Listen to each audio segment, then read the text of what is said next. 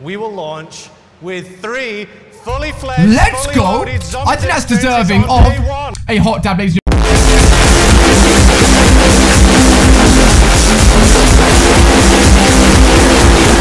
Today we're going to be going over five Fortnite YouTubers who've sworn. Ah!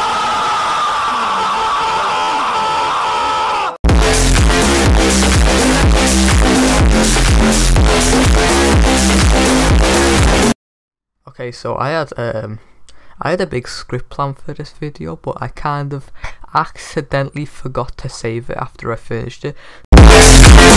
Very brief, very like top of my head thoughts, so probably won't be very well articulated if that's a word that makes any sense. Set one English, by the way. Also, I'm not allowed to just like show trailer footage. I don't think. Otherwise, I'll probably get taken down because that's what happens with other people, like especially last year. So um. I was gonna be careful with that. I pull I probably put a little trailer in the back corner or something so it's not super obvious and I won't get struck down for it. So anyway, let's just get right into the news. Ha! That's funny, right? Keemstar reference, funny. Hello? First thing I revealed, my man David Vonderhaar, I mean my Lord Vonderhaar, he just stepped out and he's like, what up party people? More Keemstar references. This needs to stop right now. So the multiplayer was first thing announced. Uh, we got shown a trailer, and I thought it was just a bit underwhelming in my opinion. Obviously, I was a little hyped because it's Black Ops 3, but then I was like, eh, it's really not much to it. It doesn't look anything spectacular. But once I like, people are streaming it. I think Syndicate was streaming it. Some people made some videos on it. After watching them, I'm actually a bit more excited for the multiplayer. Um, the gameplay does look pretty cool, um, more unique than I expected. Because I thought, at first, I thought like, oh my god, it's just a Black Ops 3 carbon copy with no jetpacks, but it's not. Trust, I've watched enough to see that it's not that. It's nothing like Black Ops 3, or is a bit like Black Ops 3, I suppose. It's kind of like a hybrid between Black Ops 2 and Black Ops 3, which is, I think is really cool because they're two really good games, especially Black Ops 2, which has the best multiplayer ever, in my opinion. All you Modern Warfare 2 fans, fight me. I'll, I'm, I'm coming at you, boy. Why is the... I mean, what? So yeah, Treyarch multiplayer always lasts longer than all the other studios multiplayer. I got like Prestige 7 or Prestige 8 on Black Ops 3. World War 2, it's, it's, I got like Prestige, I'm not for Prestige 2 yet, I don't think. Um, and it's just like, I, I have faith in my boys Treyarch multiplayer, okay? Love Vondi, please dad, don't let us down on the multiplayer. So I'm excited for the multiplayer. Probably going to be playing it a lot more than, especially Infinite Warfare, uh, maybe more than COD 4 and definitely more than World War 2 as well. So multiplayer, that's a that's a thumbs up for me, but not like a massive oh my god, this is the best day of my life thumbs up. It's like a Hey, that's pretty good. that's what I give it a hey, it's pretty good out of 10. Also boots on the ground. It it's weird though, 'cause it kind of looks futuristicy, but at the same time it's boots on the ground and it kind of confuses my brain. It's like it looks like it's further in the future than Black Ops 2, but like a lot further back than like Advanced Warfare or any of the other jetpack games. So I don't know. The gun design is a bit. I, I'm not used to it yet. I probably like it eventually, but it's just confusing my brain. There's health bars. The health bars are just like what? There's health bars. That's that's not Call of Duty. But then it's like, hey, that was an Infinite Warfare. That game was bad. But it's like, okay, they actually makes sense and it actually works well with the game because the players have more health. So that's that's sweet, I guess. Also, I was at first skeptical about um, your health. You don't auto regen, you have to press a button. But after watching some gameplay and seeing some people's opinions that played it, apparently it's all good and it's actually better than what it was before. So I'm especially excited for that now, even though I was skeptical at first. Okay, now let's move on to the good shit, boy. Let's move on to zombies. This is just the reason I'm here, okay, zombies. Multiplayer is fun and all. Zombies is like the real factor in which zombies is bad, I'm gone. Zombies is good, I'm there forever, boy. So, zombies was introduced, big puffs of smoke, and then Jason Blundell walked out and he's like, yes, fog rolling in, my boys. And we're like, oh, good meme, go away. And uh, it's just introduced that our original cast, nowhere to be seen. Our original story, nowhere to be seen just yet. We we got first shown to a completely new map, completely new style, and um, new characters and everything. But I'm just gonna start with um, the new characters. They look good. I'm excited for them. they don't show a lot of like you can't tell what they're gonna be like just from the trailers. I mean, you can get like a brief idea, I suppose, but not completely. Um, they look good. I'm excited for them. They remind me of the Shadows of Evil crew and um, Victor's crew kind of mangled together. Also, um, Skull is the new Bay. Obviously, the new film Alchemy. I'm a big fan, to be honest. Um, it's something new and unique. We haven't seen it in zombies before. So, Alchemy, you get a thumbs up. Um. I'm especially looking forward to where they take the new story because it's a completely separate storyline. But I want to see also how it connects with the Password story, and um, that'll be inter- interesting to see. You know, maybe we'll have Richtofen and Paul Paul again ruin everything I've led up to on the Shadows of Evil map. And it's like, ah, thanks for doing everything. I'll just take this and take it to goddamn Drak and steal Dempsey's soul. I mean, I think he actually steals Richtofen's stuff first. I'm sorry, my my story knowledge is not up to date. Also, the announced the games are like extremely customizable now, which is something I've wanted for like quite a long time. Um, this is it's probably got me more hyped than a lot of things. It's like you can, it's it's gonna keep replayability up, you know. It's crazy things, customizable everything. That's all I ever wanted. Um, also, people negative about like bots in um, solo games, but I think I think it actually be quite good um, if it's done right. I say, because um, the bots could ruin your game and make it just a bit like, what's the point in this? But even if it is like that, you don't have to use the bots. You can just be like, hey, did there if I ever want to use them. But you can also like have them for story like games, if that makes any sense. Games you're not playing to go for high rounds or anything specific but rather for um, just like get your head into the storyline and what characters are like. You can hear them interacting with each other like you could in Black Ops 3. Always know me about Black Ops 3 though, the characters are interacting, but they never interacted in solo because there's only one player, and in multiplayer you're talking to your friends and memeing around, so you can't really like listen to the character quotes and hear what they're saying to each other. So I think this is a really nice alternative where it'll actually work and make sense together.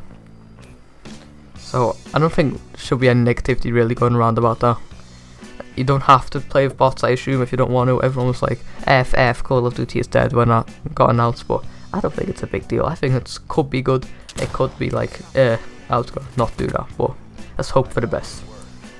Also, you know, um, having three maps at launch. Hello, never done before. Past all the competition. Okay, I'm sorry. I guess Transit kinda did it before, but not really.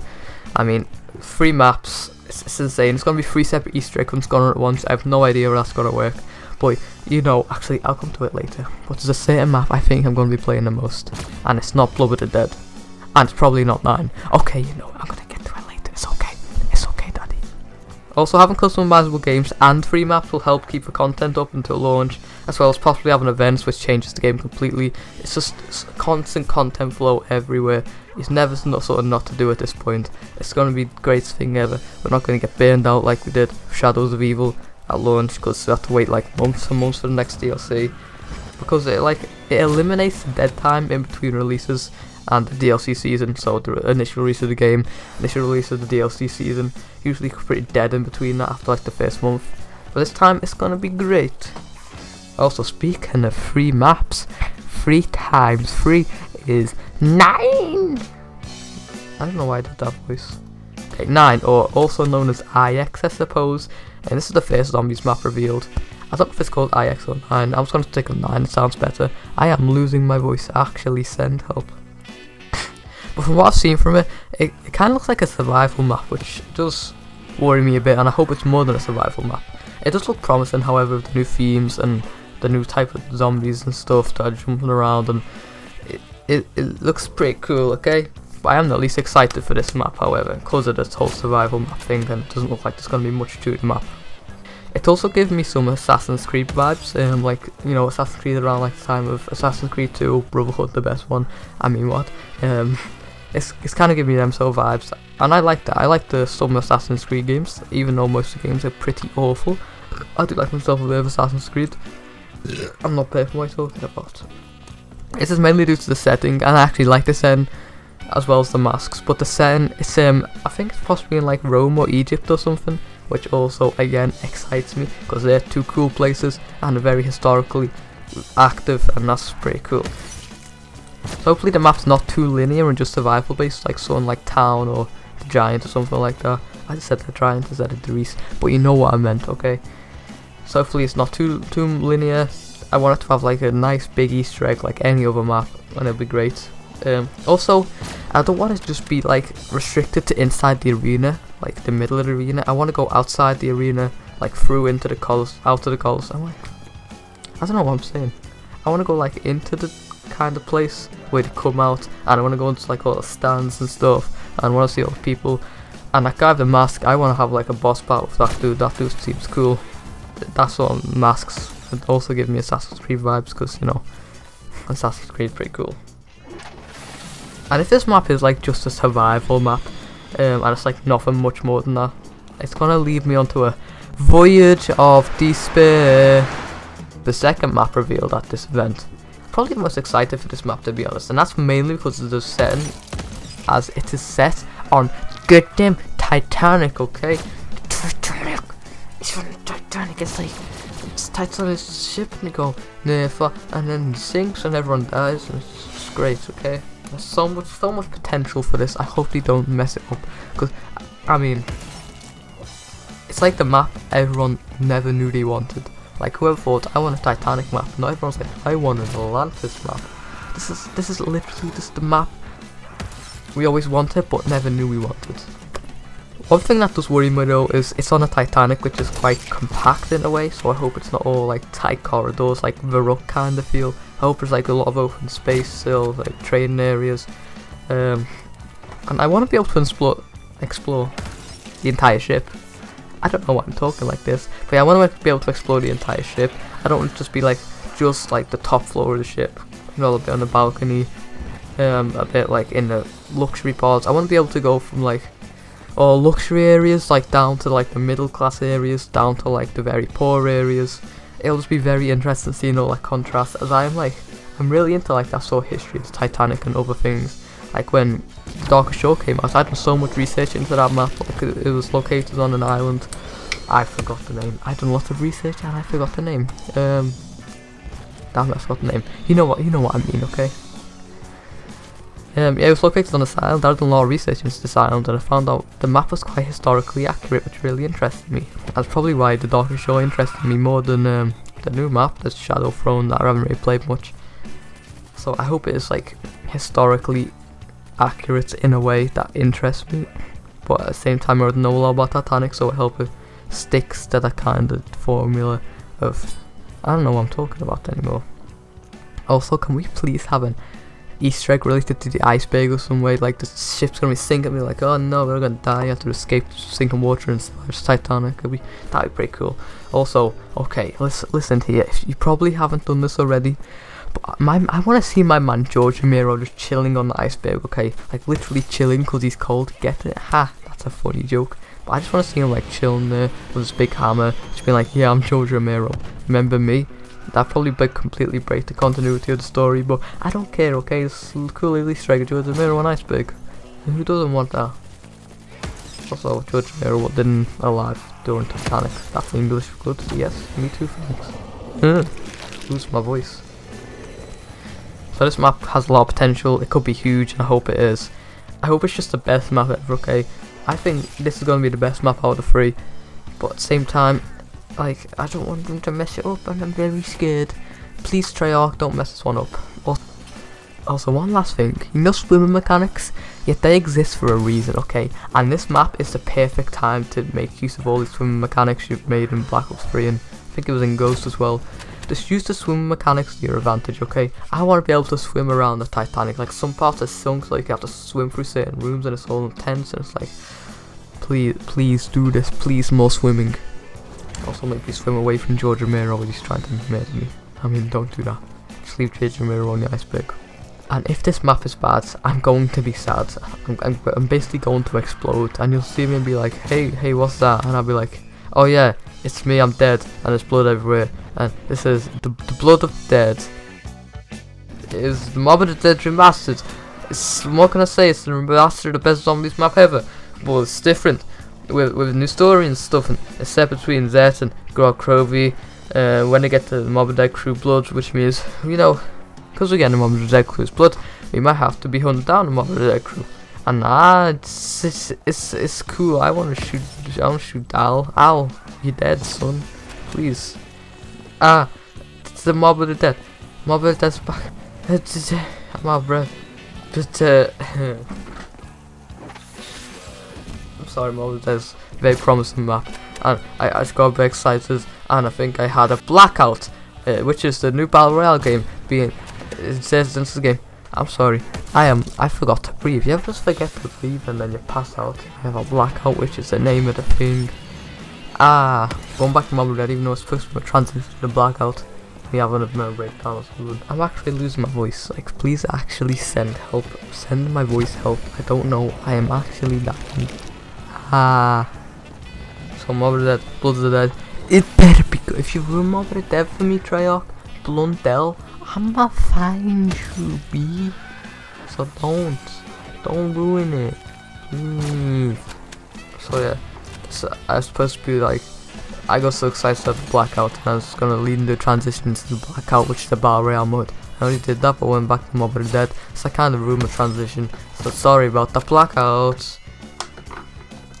So, it's kind of too early to say much at the moment about blackout, but I'm glad to hear that Treyarch are jumping on this trend surprisingly. And as much as I love Treyarch campaigns, I think I'll get a lot more playtime out of Battle Royale than a campaign, even though I, I love the campaigns, my favourite, and I have lots of fun playing the campaigns, but it's like more more, more value for money in there, in there.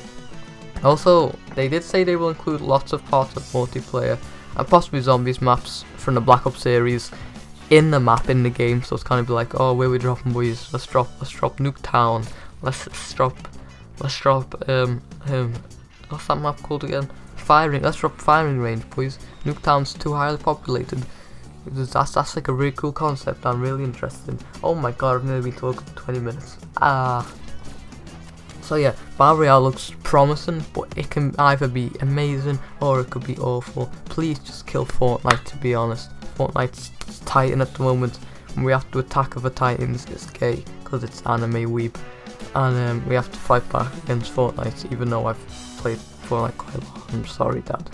So this is kind of like Call of Duty's last chance, and if this game just flop, then I feel like the series is just going to be over, because if Black Ops 4 isn't good, you better know I'm never buying a Call of Duty again. That, this is going to be my last card if it's bad.